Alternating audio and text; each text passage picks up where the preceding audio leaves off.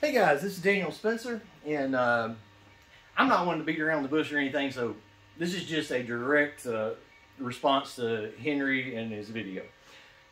I want to I want to cover a couple things real quick. Uh, it's obvious to me and several other people that uh, the the talk about the co-witnessing was directed toward me in my videos. Um, I'm not trying to be mean, but based off of your comments and stuff I've seen, you do not understand sighting, and that's okay. I didn't understand FSC regulators, and still don't near as good as you, but I didn't even know the first thing about them until I watched your videos. Um, but here's the thing: the difference is I'm learning from you, uh, not discounting you. Uh, I wouldn't do this. I wouldn't do this right here if it wasn't for the fact of that you're a leader in this community and you're making statements about something and dismissing it and saying that something has no practical use uh, because you don't understand how it works. Okay. You say, and again, you do say that it's your personal preference to flip your front side up, and that's not what this is about. This is a side note. If you want to flip your front side up and look through it, that's fine. Who cares? But without the back sight, the front sight means nothing. So I just want to make sure that the people in the community understand that you do not need to reference your red dot with your front sight whatsoever. When you co-witness, you flip up both sights and you're just making sure that when you sight with your front and your rear, that your red dot is also in line and on the target. So the red dot and the front and rear sight should all be in line when you flip them up. There's no reason whatsoever that you're going to go around shooting like that. Now, somebody who thinks you shoot like that would think it is not practical. You don't shoot like that. But yet, if you're flipping your front sight up anyway, then that's in your way. Well, you say that's for a better sight picture. People literally buy flip up and flip down sights to flip them down to get a better sight picture. A sight picture is what you see through your sight you're putting a thing in front of your sight that you don't need there. It's pointless because your red dot has no reference whatsoever. So it's kind of misleading. Um, when you say that, that co-witnessing, you know, uh, it's debatable, it's not debatable.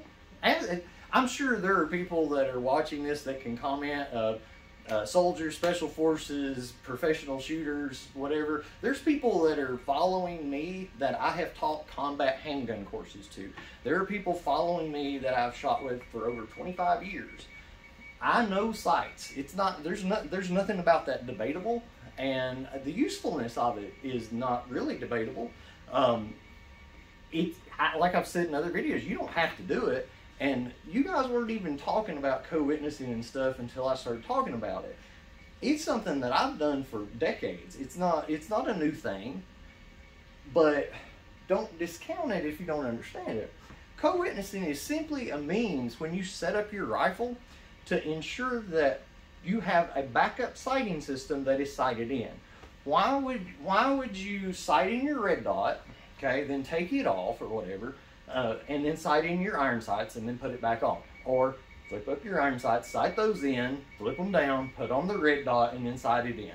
Why would you do that? You co-witness, okay? You sight in one or the other.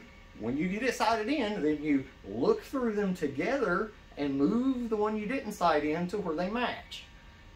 Then you fold those suckers down out of your way. So you're saying that something is not practical and you're actually making yourself do the part that would make it not practical for no reason whatsoever. So that's kind of confusing.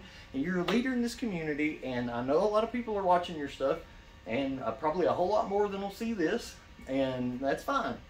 But please, like, I mean, by the way, your your uh, your sling, this part of your sling goes toward the back of the rifle, and this part would be in the front. Okay so when you want to change it from a two point to a one point, I've used these for, I don't know, I, don't even know how long. Uh, you take this part off, hook it to this, right? So it's hooked at the back of your rifle. So it's going to be like this, and your rifle will hang like a single point sling. The way you have it in your video, if you converted it to a single point, your rifle would be pointing up at your head. You, it would be hanging and pointing up at your head. I just wanted to point that out. Um, but I'm sure that the position of slings are debatable too.